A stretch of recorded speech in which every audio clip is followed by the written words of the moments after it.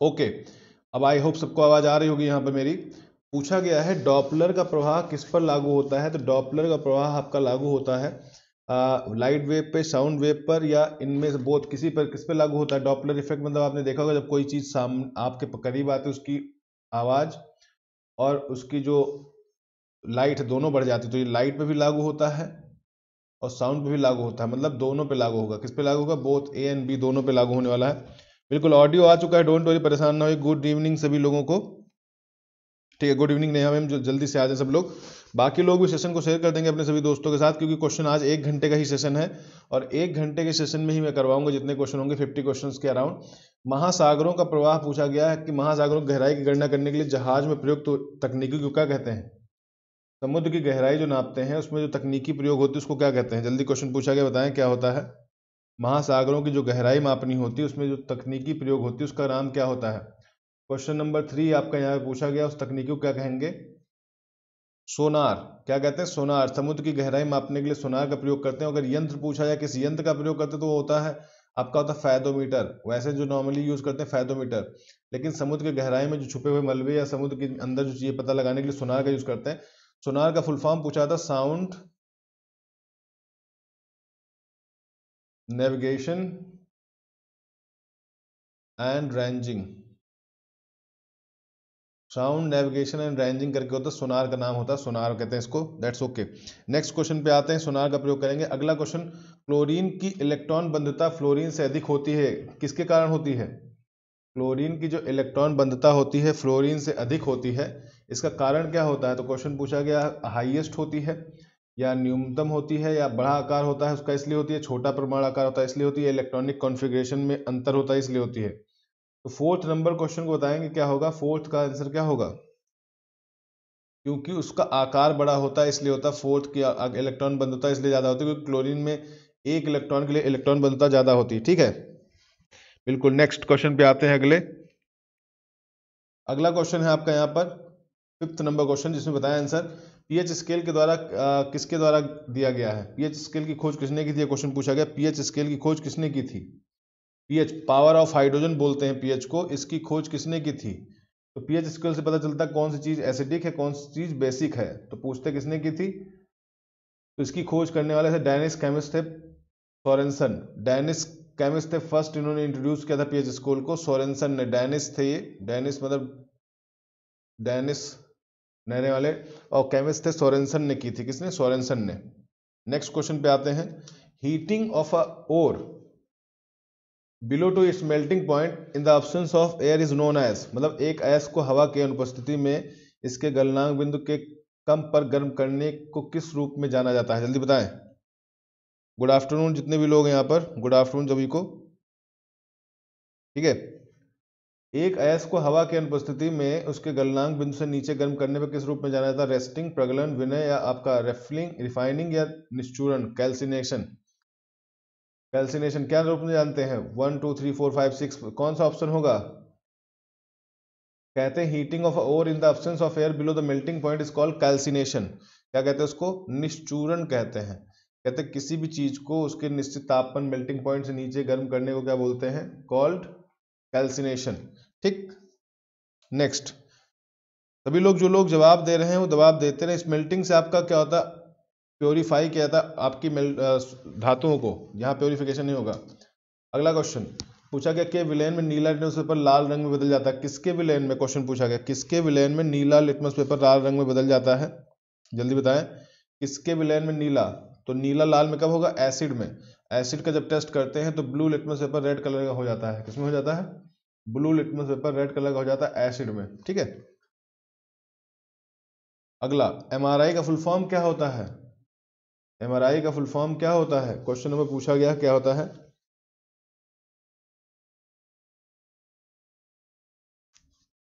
MRI का full form क्या होता है?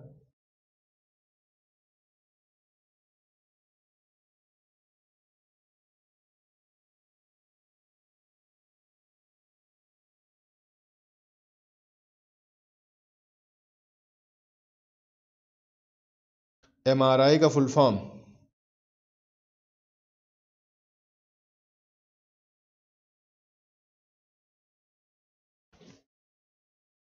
यहाँ होता है मैग्नेटिक रेजोनेंस इमेजिंग क्या होता है? मैग्नेटिक रेजोनेंस इमेजिंग होता है इसका फुल फॉर्म एमआरआई का।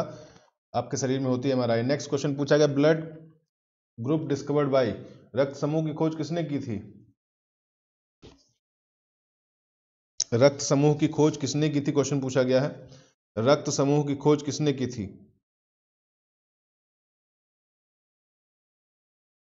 ब्लड ग्रुप की खोज करने वाले कौन थे? That is Landsteiner Karl Landsteiner ने खोज की थी। कार्ल लैंडस्टीनर ने ब्लड ग्रुप की खोज की थी। बोला था एंटीजेंस के अकॉर्डिंग ब्लड ग्रुप होते हैं। जिसके अंदर एंटीजेंस पाए जाते हैं, वही ब्लड ग्रुप होते हैं। ए ब्लड ग्रुप में ए एंटीजन बी ग्रुप में बे एंटीजन और ए बी में ए बी एंटीजन और ए ओ ग्रुप में कोई एंटीजेंस नहीं होते हैं। एंटीजेंस कहाँ होते हैं? एंटीजेंस एक तरह प्रोटीन होते हैं जो आरबीसी के सरफेस पर पाए जाते हैं। ब्लड में दो तरह के एंटीजन होते हैं ए और बी किसी में ए होता, किसी में बी होता, किसी में दोनों होता, किसी में कुछ भी नहीं होता। तो एंटीजेंस के अकॉर्डिंग ब्लड ग्रुप डिवाइड किया गया था। एंटीजेंस क्या होते हैं एक तरीके के? एंटीजन एक तरीके के प्रोटीन होते हैं। पूछा था एंटीजेंस क्या होते हैं? प्रोटीन होते हैं। ठीक है नेक्स्ट क्वेश्चन पे आते हैं। डीएनए में उपस्थित कौन सा यौगिक अमीनो अम्ल का निर्माण नहीं करता? जल्दी बताएँ, कौन सा यौगिक अमीनो अम्ल का निर्माण नहीं करता है?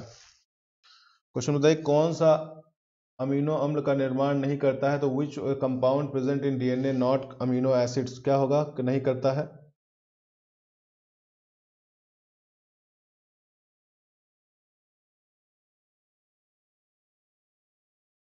देखो, शरीर में 22 अमीनो एसिड की आवश्यकता होती है। 22 की। जिनमें से आपका टायरोसिन, जो होता है टायरोसिन, इसका उपयोग नहीं किया जाता है। कहते हैं नॉन इसेंशियल अमीनो एसिड होता है, कहते हैं सिंथेसाइज प्रोटीन एंड ये नॉन अमीनो एसिड्स होता है नॉन इसेंशियल अमीनो एसिड्स होते हैं, with the polar side group के होते हैं। और इसकी डिस्कवरी की थी 1864 में जर्मन साइंटिस्ट लीबैग ने। जो जस्तुस वॉन लीबैग ने प्रोटीन कैसीन फ्रॉम चीज़ से इसकी उत्पत्ति की थी तो कहा गया कौन सा होता है? टायरोसिल। टायरोसिल का उपयोग नहीं किया जाता है और इसकी खोज करने, कब हुई थी? 1864 में हुई थी इसकी खोज। किसने की थी? लीबैग ने। ठीक है, और कहाँ की थी? पनीर में। क्योंकि ये प्रोटीन होते हैं, अमीनो एसिड। नेक्स्ट पे आते हैं। क्वेश्चन पूछा गया है कि ऊतक जिसमें कोशिकाओं के, कोशिका विभाजन की क्षमता खो दी जा, दी है। बताओ, क्या कहते हैं उसे? ऊतक जिसमें कोशिकाओं ने कोशिका विभाजन की क्षमता खो दी है।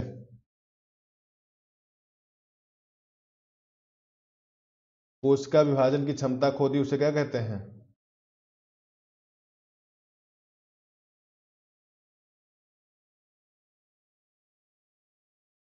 जिसमें कोशिका विभाजन, जिसमें ग्रोथ नहीं हो रही तो ग्रोथ नहीं हो रही तो क्या हो गए दैट इज़ परमानेंट इशू हो गए हैं।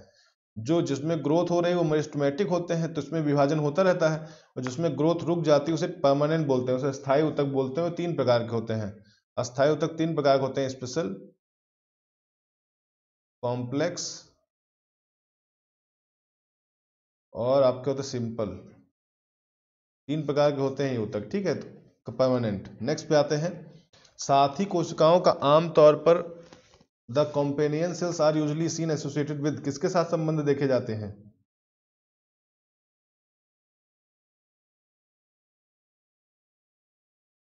Companion cells is a type of cells found with in the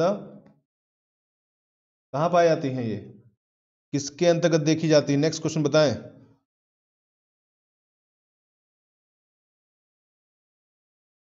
तो कहते हैं किसके पास देखिए सीव ट्यूब्स के पास जाती चालनी नलिका के पास देखी जाती है किसके पास? चालनी नलिका के पास ये देखी जाती हैं।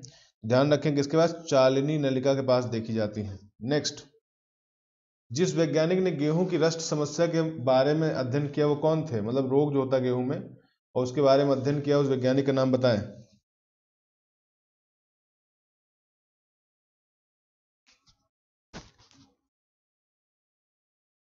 उसे क्या कहते हैं? दैट्स कॉल्ड केसी मेहता उन्होंने किया था अध्ययन इसका। केसी मेहता जी ने अध्ययन किया था। नेम दिया था उसको, है स्टडी का। तो केसी मेहता इसको कहा गया। माइकोलॉजी फंगी का अध्ययन किया था ये। माइकोलॉजी से होता है फंगस से होता है। और फंगस के अध्ययन को कहते हैं माइकोलॉजी ठीक है नेक्स्ट क्वेश्चन पे आते हैं।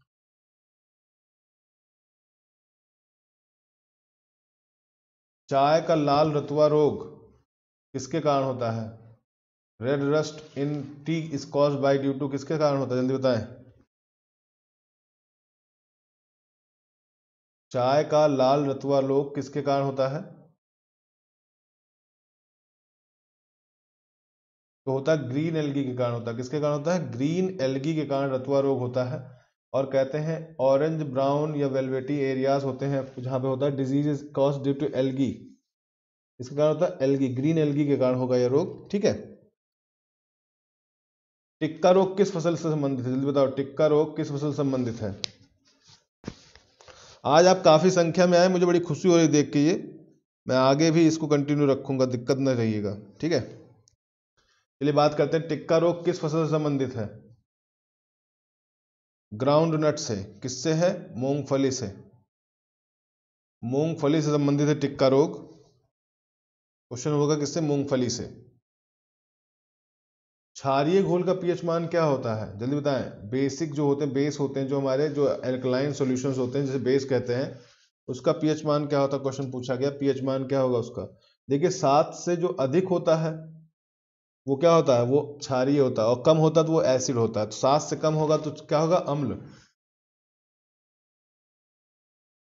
उसे एसिड कहते हैं। सात से ज़्यादा होगा तो क्या होगा? क्षार होगा। तो मोर देन सेवन तो क्या होगा? मोर देन सेवन तो उसे बेस कहते हैं। More than seven is base ठीक है? नेक्स्ट क्वेश्चन पे आते हैं। सोलह के बाद नंबर पर क्वेश्चन क्या पूछा गया है? शुद्ध पानी में हाइड्रोजन की आयन सांद्रता कितनी होती है? In pure water the concentration of hydrogen ion in pure water the concentration of hydrogen ion क्या होता है? शुद्ध जल में पीएच मान कितना होता है?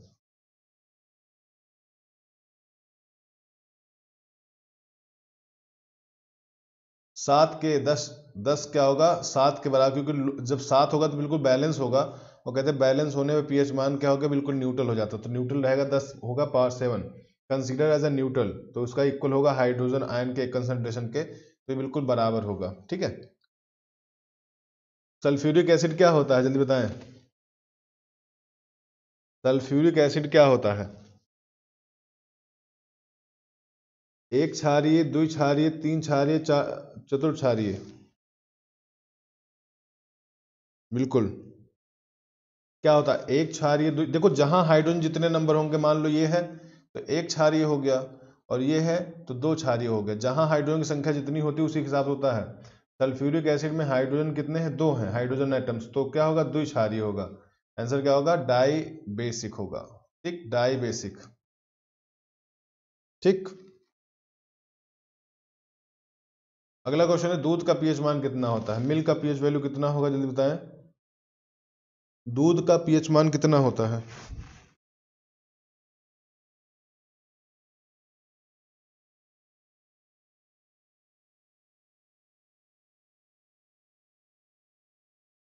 दूध का पीएच मान। देखो, दूध क्या होता है? 6.7 से 6.5 के बीच में होता है ये।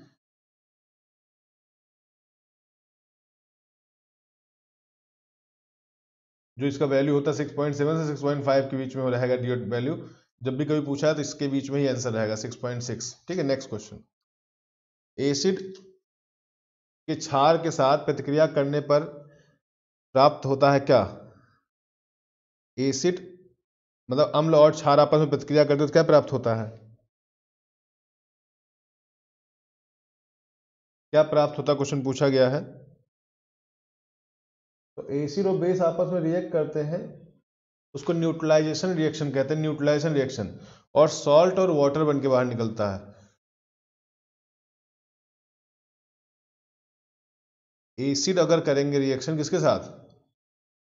बेस के साथ। तो क्या निकलेगा? सॉल्ट प्लस वाटर तो यहाँ सॉल्ट हो जाएगा, ठीक?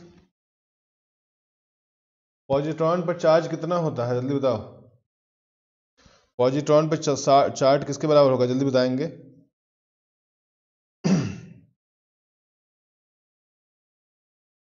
ठीक तो पूछा गया है, क्या होगा इसमें पॉजिट्रॉन पर चार्ज क्या होता है? किसके बराबर होता है?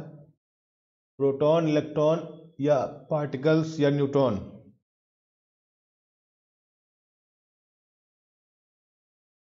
पॉजिट्रॉन पर चार्ज किसके बराबर होगा? प्रोटॉन के बराबर होगा। किसके बराबर होगा? प्रोटॉन के बराबर होगा।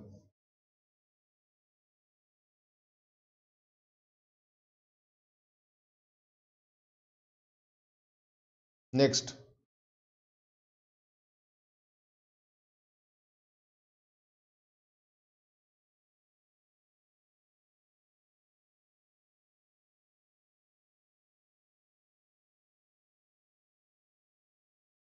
अगला बताइए, पूछा गया है pH of water at 25 degree seven when is heated 100 degree pH का वैल्यू क्या हो जाएगा? जब 100 डिग्री तक गर्म करेंगे तो पीएच की वैल्यू कितनी हो जाएगी?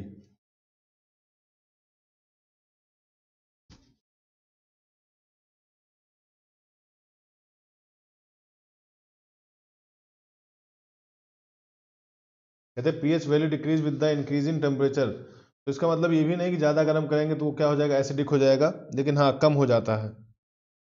ठीक? क्या हो जाएगा? कम हो जाएगा। पीएच वैल्यू क्या हो जाएगी? कम हो जाएगी।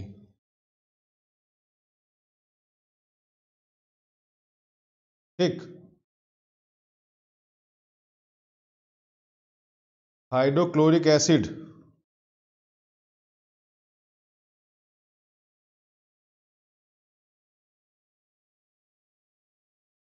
जल्दी बताओ। क्या होता है? हाइड्रोक्लोरिक एसिड के रूप में जाना जाता है किसको?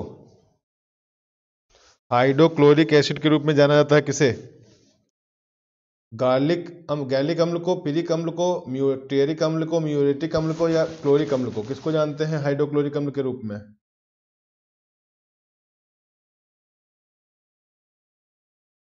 ठीक।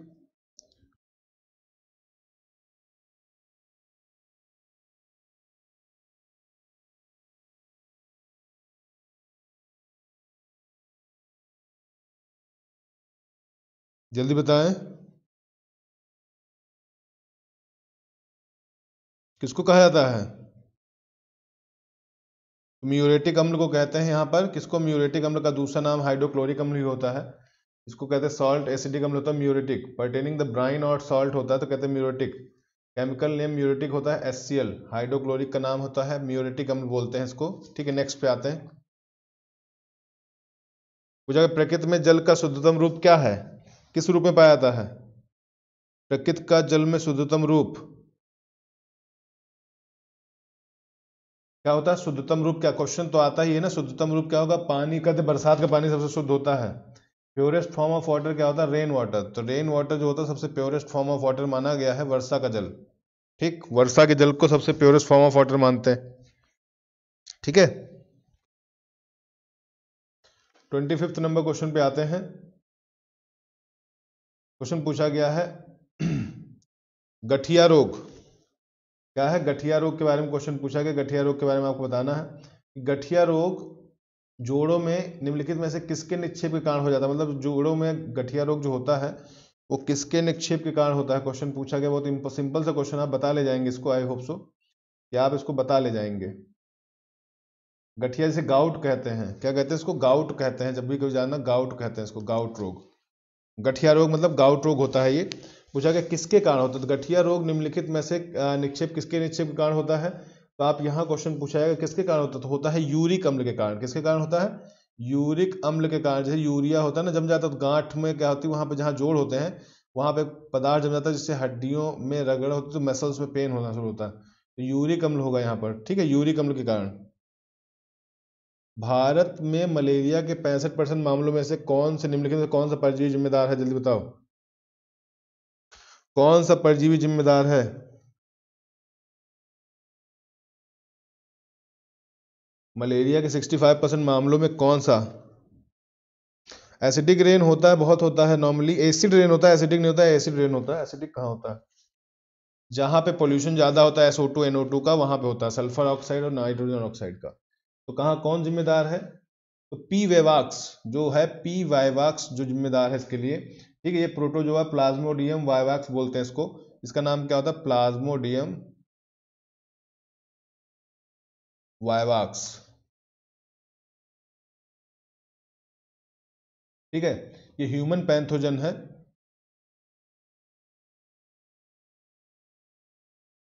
जो यूज़ होता है, इसको मोस्ट फ्रीक्वेंट होता है काफ़ी फैला हुआ है। और सिक्सटी परसेंट ये आपके केसेस में होता है। इसकी पाँच स्पीसीज होती है जिनमें से एक ये है तो ह्यूमन पैंथोजन में दैट मीन्स बायवाक्स नेक्स्ट क्वेश्चन पे आते हैं। हाइड्रोफोबिया किसके कारण होता है? जल्दी बताओ, पानी से डर लगना। पानी से डर लगना किसके कारण होता है? हाइड्रोफोबिया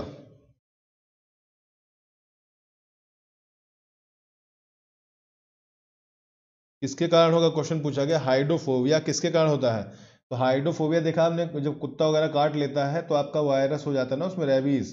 तो उसे हाइबो फियर ऑफ़ वाटर को बोलते हैं हाइड्रोस तो कहते हैं रिवर, लेक, सी, से डर लगता है। इसका पुराना नाम है, रेबीज का क्या है? रेबीज इसका पुराना नाम है, पुराना नाम रेबीज था। तो अफेक्ट नर्वस सिस्टम तो ये होता है, वायरस होता है नर्वस आपके तंत्रिका तंत्र को अफेक्ट करता है ये। इसको तंत्रिका तंत्र को अफेक्ट करेगा। ठीक है, ये क्वेश्चन है, वायरस से होता है। नेक्स्ट क्वेश्चन पे आते हैं।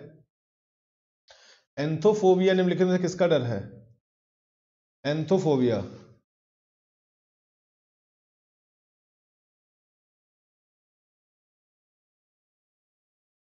ठीक एंथोफोबिया मतलब होता है फ्लावर्स फूलों के डर को कहते हैं एंथोफोबिया एंथोस जो आपका ग्रीक भाषा में एंथोस को क्या बोलते हैं? एंथोस को बोलते हैं फ्लावर बोलते हैं, फूलों का डर. एंथोस का मतलब होता है फ्लावर ठीक तो एंथोफोबिया किससे संबंधित? फ्लावर्स के जो डर होते हैं उसको कहते हैं एंथोफोबिया तो एंथोफोबिया का संबंध किससे है?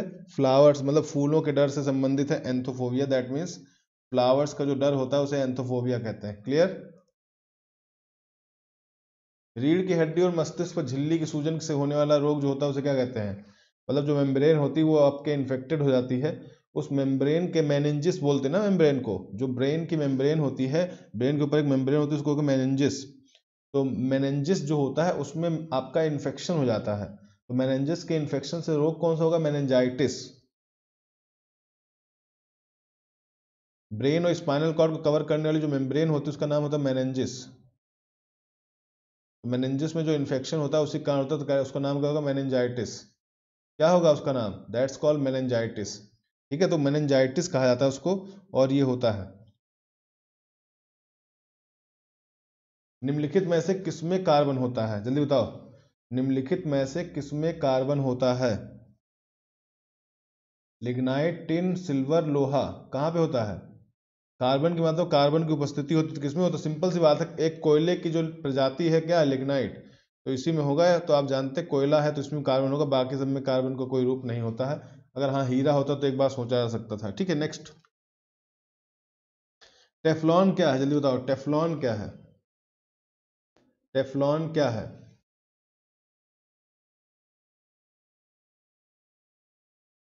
टेफ्लॉन किसे कहते हैं? तो यहाँ पे क्वेश्चन पूछा जाएगा, क्या है ये? तो ये एक तरीके का टेफ्लॉन फ्लूरोकार्बन है। टेफ्लॉन का पूरा नाम क्या है? Polytetrafluoroethylene. Polytetrafluoroethylene ये क्या है आपका? ये टेफ्लॉन कहलाता है। क्या कहलाता है ये? टेफ्लॉन कहलाता है और टेफ्लॉन एक क्या है? एक सॉलिड फ्लूरोकार्बन है। क्या है? सॉलिड फ्लूरोकार्बन है ये। तो इसे पॉलीटेट्रा फ्लूरो एथिलीन को बोलते हैं। ये होता है टाटा। और इसका फुल फॉर्म होता है पी टी ई एफ़। तो कहेंगे पॉलीटेट्रा एथिलीन ठीक, इसको बोलते हैं। नेक्स्ट क्वेश्चन पे आते हैं। अगला बताइए। लाफिंग गैस क्या है? What is laughing gas laughing gas क्या है? Nitrous oxide carbon monoxide sulphur oxide hydrogen peroxide जल्दी बताएँ। ठीक। पूछा गया क्या होता है? तो आपका पूछा गया क्या होगा? नाइट्रस ऑक्साइड को बोलते हैं लाफिंग गैस ज़्यादा कर देने से लोग मर भी जाते हैं। ज़्यादा मात्रा में हो जाने से लोगों की मौत भी हो जाती है। ठीक है? ज़्यादातर नाइट्रस ऑक्साइड होता है। नेक्स्ट। पूछा गया आरडीएक्स का आविष्कार किसने किया था? जल्दी बताओ। आरडीएक्स का आविष्कार किसने किया था? RDX research and development explosive बोलते हैं इसको। इसका फुल फॉर्म है research and development explosive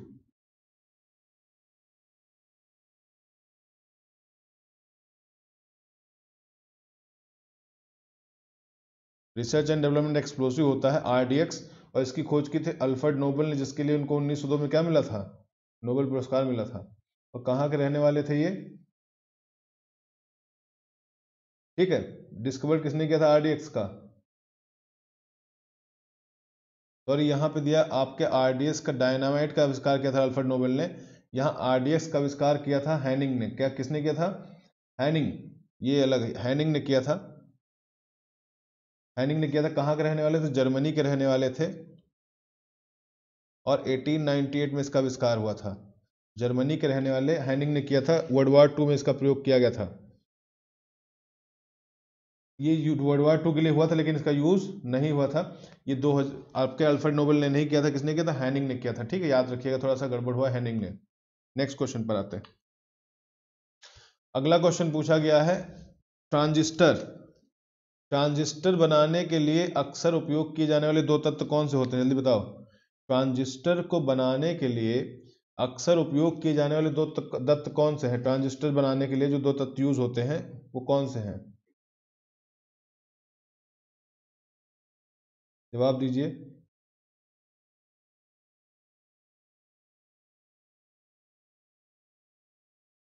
transistor को बनाने के लिए अक्सर उपयोग किए जाने वाले दो तत्व।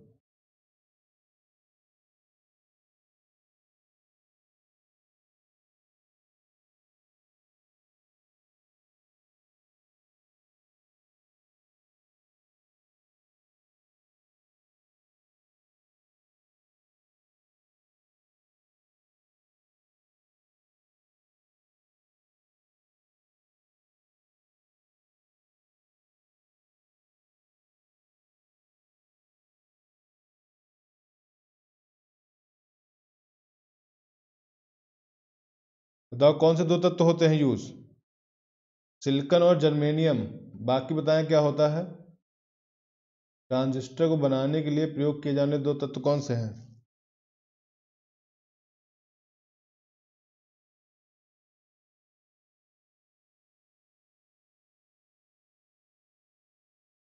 ठीक, सिलिकन और जर्मेनियम। ठीक है? नेक्स्ट। अगला बताइए। अगला, क्या होगा यदि अग्नाशय खराब हो जाए? बताओ। क्या होगा यदि अग्नाशय खराब हो जाए? क्या होगा ऐसा बताओ जल्दी से। अग्नाशय अगर खराब हो गया तो क्या होगा?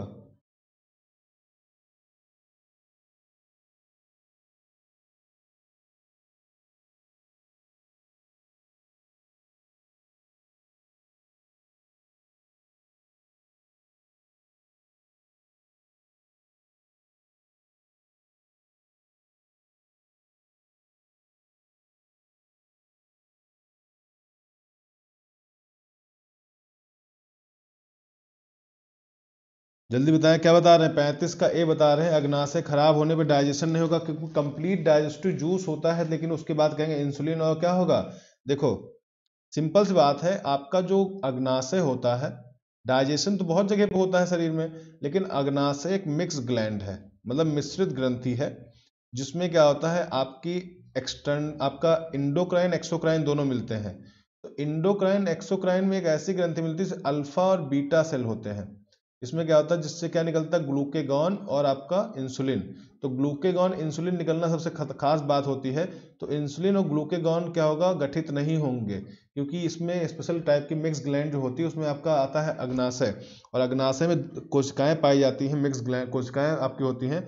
उनमें क्या होता है अल्फ़ा सेल और बीटा सेल्स होते हैं। तो गामा सेल होते हैं।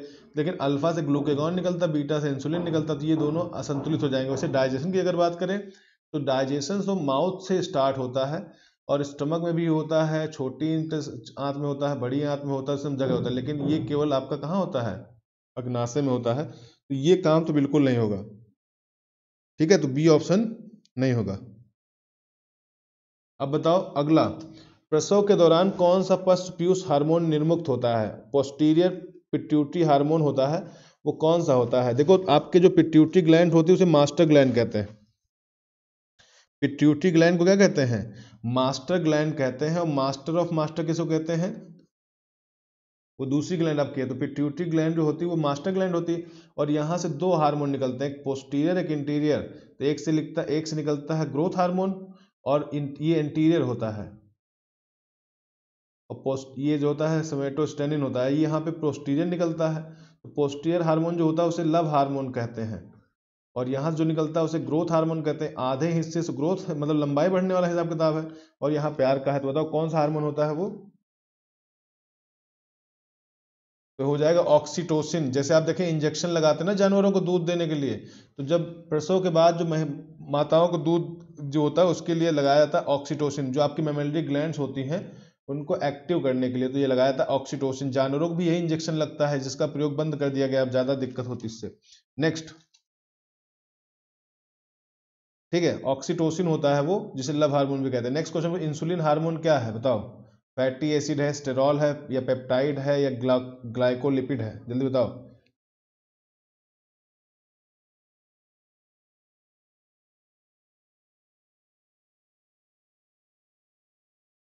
बिल्कुल। पूछा गया क्या होता है? इंसुलिन क्या होता है? तो इंसुलिन आपका होता है पेप्टाइड होता है। इंसुलिन क्या है? एक तरह का, एक तरह का पेप्टाइड है इंसुलिन। ये क्वेश्चन पूछा था, एक तरह का क्या है ये? This is type of peptide क्या कहते हैं? इसे पेप्टाइड कहते हैं। एक तरह का पेप्टाइड होता है और प्रोड्यूस बाय बीटा सेल्स और इसको कौन प्रोड्यूस करता है? इसको बीटा सेल्स प्रोड्यूस करती है। ध्यान रखिएगा। इंसुलिन जो होता है बीटा सेल्स प्रोड्यूस करती है। कहाँ पे? पेनक्रियाज में। और ये क्या काम करता है? आपके बॉडी में ग्लूकोज की मात्रा को क्या करता है? एब्जॉर्ब करता है। ये ब्लड में ग्लूकोज को एब्जॉर्ब कर लेता है। किसको? ग्लूकोज को एब्जॉर्ब करने का काम करता है। ग्लूकोज को एब्जॉर्ब कर लेता है, ठीक है? नेक्स्ट इनमें से कौन सी धातु इंसुलिन में उपस्थित होती जल्दी बताओ। कौन सी धातु इंसुलिन में उपस्थित होती जल्दी बताएँगे। इंसुलिन में कौन सी धातु उपस्थित होती है? इंसुलिन में कौन सी धातु होती है?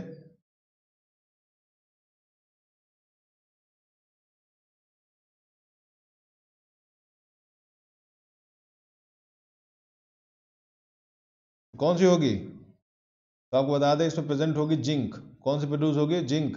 और कहते हैं इंसुलिन कहाँ से प्रोड्यूस होता है? आपको पता है इंसुलिन आपका पेनक्रियाज में प्रोड्यूस होता है और क्या करता है? ग्लूकोज को एब्जॉर्ब करने का काम करता है। तो ये कहाँ होता है? ये आपका होता है कहाँ पे? पेनक्रियाज में। पेनक्रियाज में प्रोड्यूस होता है इंसुलिन की बीटा सेल्स पेनक्रियाज के बीटा सेल्स में होता है ये। और ये क्या करता है? ये जिंक धातु इसमें पाई जाती है, जिंक मिलता है। ठीक है नेक्स्ट क्वेश्चन पर आते हैं। डायलिजर का उपयोग के कार्य के लिए किया जाता है। डायलिजर का उपयोग किसके लिए करते हैं? जल्दी बताएँ। हृदय के लिए, किडनी के लिए, लीवर के लिए, लंग्स के लिए? जल्दी बताएँ। डायलिजर का उपयोग किसके लिए करते हैं? डायलिजर मतलब होता है डायलिसिस से जुड़ा हुआ शब्द है। डायलिजर किससे जुड़ा हुआ शब्द है? डायलिसिस से। डायलिसिस मतलब होता है कि आपके ब्लड को प्यूरिफिकेशन प्रोसेस को क्या बोलते हैं? डायलिसिस। तो ट्रीटमेंट इन किडनी फेलियर क्या होता है? आपका पर्टुलाइट डायलिसिस यूज़ करते हैं। पेरिटोनियल डायलिसिस होता है, पीडी जिसे बोलते हैं। पेरिटोनियल, जब आपकी किडनी फेल हो जाती है उसके लिए तो किडनी से संबंधित है क्योंकि आपका डायलिसिस होता है, ब्लड प्यूरिफिकेशन प्रोसेस जो बॉडी में होता है। इसे बोलते हैं पेरिटोनियल डायल, आपका प्रोसेस बोलते हैं डायलिसिस।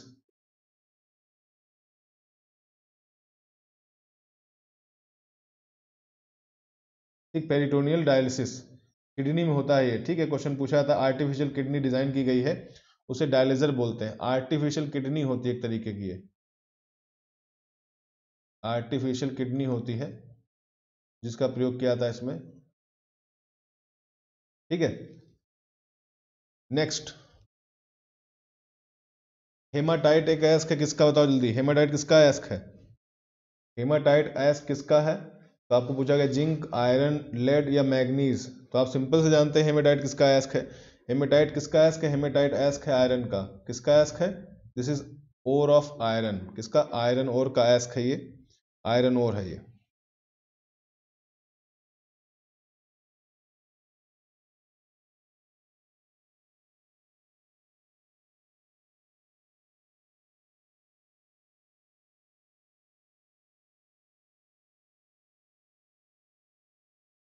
ठीक है? नेक्स्ट अल्फ़ा कणों के बारे में पूछा गया। अल्फ़ा कणों के बारे में निम्नलिखित में से क्या गलत है? जल्दी बताएँ। निम्नलिखित में से क्या गलत है अल्फ़ा कणों के बारे में? They have a high ionizing power they have high penetrating power और they have high kinetic energy they are positively charge helium nuclei तो क्या होता है? अल्फ़ा कणों के बारे में न्यूक्लियस से क्या गलत है? तो क्वेश्चन पूछा गया, क्या गलत है?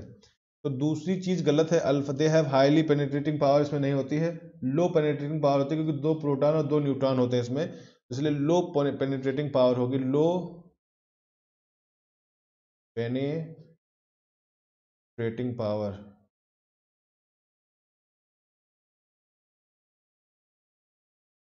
ठीक है? नेक्स्ट निम्नलिखित में से कौन सा ऑक्सीकरण प्रतिक्रिया की विशेषता नहीं है? जल्दी बताएँ। जल्दी से आगे लोग इसको बढ़ा दे। कौन सा नहीं है? क्वेश्चन बताएँगे। नेक्स्ट फोर्टी का भी बता दें। ठीक है नेक्स्ट क्वेश्चन पूछा गया। क्या होगा? निम्नलिखित में से कौन सा ऑक्सीकरण का प्रतिक्रिया की विशेषता नहीं है? मतलब ऑक्सीकरण में क्या नहीं होता है? हाइड्रोजन संयोजन शामिल होता है ऑक्सीजन का संयोजन शामिल होता है, ऋणात्मक तत्व का संयोजन शामिल होता है, इनमें से कोई नहीं। तो कहते हैं आपका ऑक्सीडेशन में क्या होता है? इन्वॉल्व एडिशन ऑफ़ हाइड्रोजन इसमें क्या होता है? Oxidation is loss of electron and adding of oxygen तो क्या होता है? लॉस ऑफ़ इलेक्ट्रॉन को क्या बोलते हैं? ऑक्सीडेशन लॉस ऑफ़ इलेक्ट्रॉन और addition of oxygen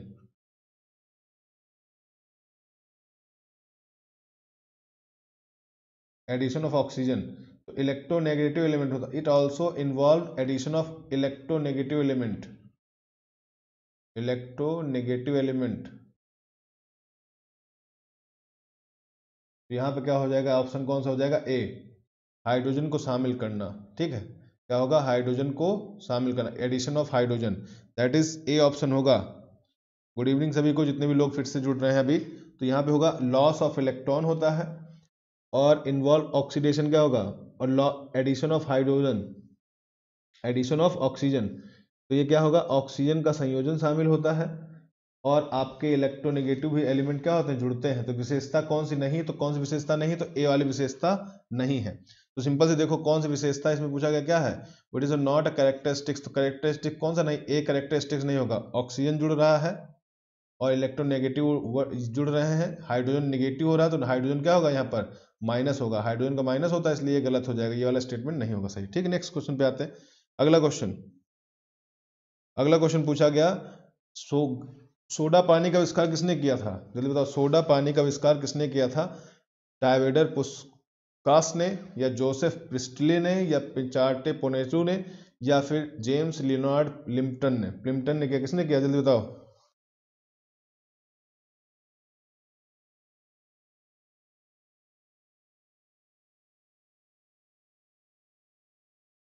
क्वेश्चन बताएँगे इसमें क्या होगा नेक्स्ट?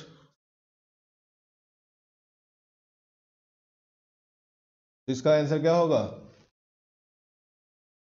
तो आंसर हो जाएगा जोसेफ प्रिस्टले ने। सोडा वाटर की खोज किसने की थी? जोसेफ प्रिस्टले ने इसकी खोज की थी, सोडा वाटर। ठीक है? प्रोटॉन का द्रव्यमान और क्या समान होता है? प्रोटॉन का द्रव्यमान और किसका द्रव्यमान समान होता है?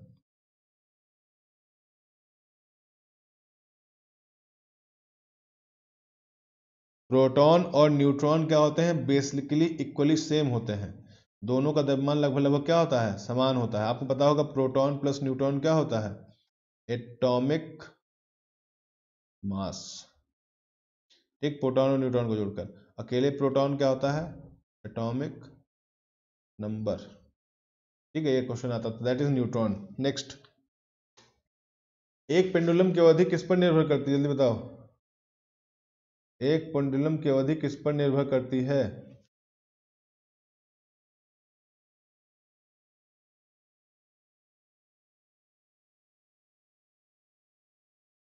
पेंडुलम की अवधि किस पर निर्भर करेगी।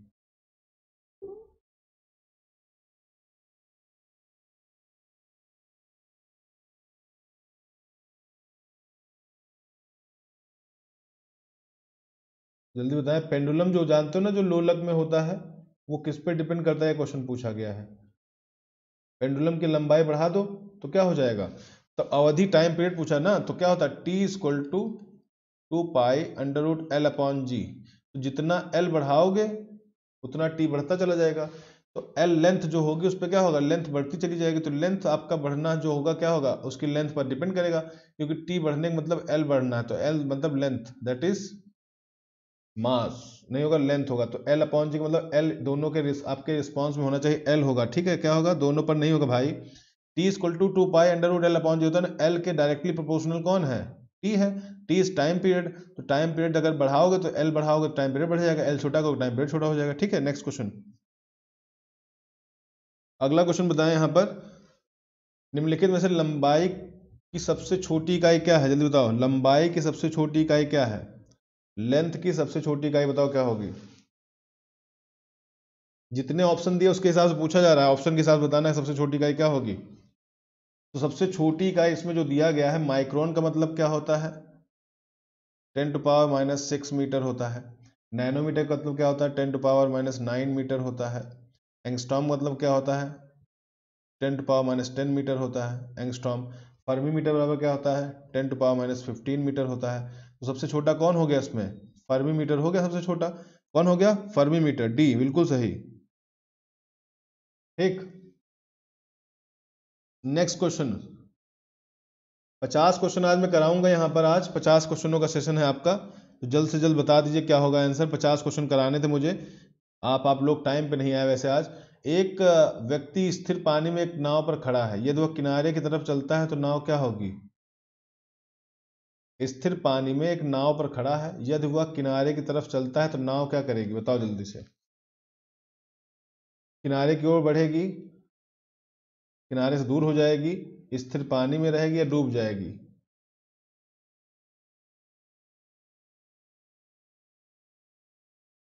देखो, किनारे की तरफ़ आ रहा अगर तो क्या होगा? दूर हो जाएगी। सिंपल देखो, न्यूटन का थर्ड लॉ क्या कहता है? अगर कोई आदमी तुम्हारे आगे बढ़ता है तो पीछे धक्का दे के बढ़ता है, क्योंकि जब दौड़ेगा तो पीछे की तरफ़ धाप देगा ना। और अगर कोई किनारे पे जा रहा है तो अगर कूदेगा तो क्या होगा? तो उसकी नाव पीछे की तरफ़ चली जाएगी। तो किनारे से क्या होगी? दूर हो जाएगी। अगर वो किनारे पे जा रहा है कूद के तो नाव को पीछे की ओर धक्का देगा, तब वो आगे बढ़ेगा तो नाव पीछे चली जाएगी, दूर हो जाएगी। ठीक है? क्या हो जाएगा? दूर हो जाएगी। नेक्स्ट क्वेश्चन बताइए जल्दी से आगे। हवा में ध्वनि के वेग से अधिक की गति से यात्रा करने वाले निकाय किस गति से यात्रा करेगा, बताओ। हवा में ध्वनि के वेग से अधिक की गति। सब लोग जल्दी से लाइक कर दो एक बार सेशन को। सब लोग लाइक कर दो। ठीक। पूछा गया है, हवा में ध्वनि के वेग से अधिक की गति के साथ यात्रा करने वाले निकाय की गति से यात्रा करेगा, बताओ, किस गति से? जब हवा की गति से जब कोई कहता है कि ध्वनि की वेग से करते हैं, उसे क्या कहते हैं? अगर कोई ध्वनि की वेग से गति करता है, उसे बोलते हैं सुपरसोनिक विमान। तो सुपरसोनिक क्या होता है? ध्वनि की गति होती है। और ध्वनि की गति क्या होती है? ठीक है, ट्वेंटी डिग्री। ड्राई कहता है सुपरसोनिक रेट क्या होता है? ऑब्जेक्ट पे डिपेंड करता है। और speed of sound for object travelling the in temperature of twenty degree Celsius speed कितना होगा? तीन सौ तैंतालीस मीटर पर सेकेंड अगर कहते हैं बीस डिग्री पर तीन सौ तैंतालीस मीटर पर सेकंड की स्पीड से कोई चल रहा है दैट मीन्स वो क्या होगा? सुपर सोनिक विमान होगा, जिसको हम लोग कहते हैं Mach one Mach two Mach three Mach ऐसे। ठीक है नेक्स्ट क्वेश्चन पे आते हैं। पूछा गया चलती ट्रेन में एक यात्री एक सिक्का उछालता है, अगर सिक्के उसके पीछे गिरता तो ट्रेन आगे चल रही, पीछे चल रही? या एक समान त्वरण से चल रही, या समान त्वरण से चल रही? जल्दी बताओ।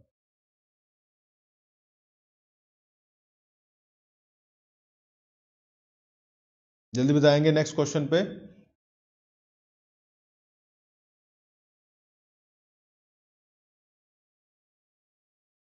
अगला क्वेश्चन बताएँ, क्या होगा इसमें?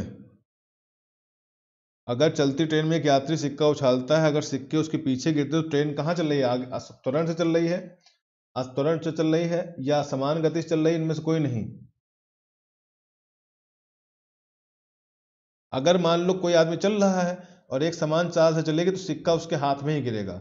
अगर ट्रेन रुक जा रही तो सिक्का आगे गिर जाएगा और नहीं, तेज चल जाएगा, पीछे गिर जाएगा। लेकिन सिक्का उसके हाथ में नहीं गिरेगा। इसका मतलब ट्रेन में क्या है? एसोलरेशन है। ये कंफर्म नहीं कि तेज चल रही, धीमा चल रही, लेकिन सिक्का आगे पीछे गिर रहा मतलब वो ट्रेन में यूनिफॉर्म वेलोसिटी यूनिफॉर्म स्पीड नहीं है। तो ये बात तो कंफर्म हो गई तो क्या है उसमें? एसेलरेशन है। पर सेकेंड उसकी स्पीड क्या हो रही? चेंज हो रही है इसलिए सिक्का आगे पीछे गिर रहा है। That means a option last question है आज के दिन का। पृथ्वी की परिक्रमा करने वाली एक कृत्रिम उपग्रह नीचे नहीं गिरता है, क्योंकि पृथ्वी का आकर्षण क्या होता है? जल्दी बताओ।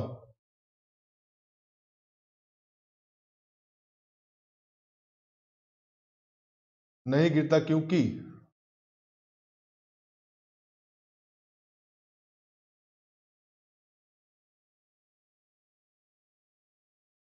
क्योंकि घुमावदार रास्ते में वो अपने लिए समान त्वरण पैदा कर लेता है। घुमावदार रास्ते में ऐसी दूरी पर गायब हो जाता है, चंद्रमा का आकर्षण में संतुलित है या वायुमंडल द्वारा उत्पादित विस्कस खिंचाव के संतुलित रहता है घुमाव रास्ते में अपनी गति का आवश्यक त्वरण पैदा करता है।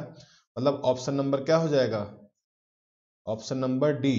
तो D is the right answer. क्या होगा? D is the right answer. ठीक, अपने समान त्वरण पैदा कर लेता है पचास का डी। सभी लोग आप जुड़े यहाँ, बहुत अच्छा। कल हम लोग करेंगे, कल के लिए तो वो बता दो, ध्यान सुनिएगा। कल मॉडर्न हिस्ट्री के क्वेश्चन किए जाएँगे और कल मैं आपसे मॉडर्न हिस्ट्री के सौ क्वेश्चन करवाऊँगा। कितने? हंड्रेड एमसीक्यू होंगे और टाइम पीरियड होगा सत्रह से लेके उन्नीस के बीच के सारे क्वेश्चन होंगे। आप हिस्ट्री आज पढ़ लीजिएगा जाके।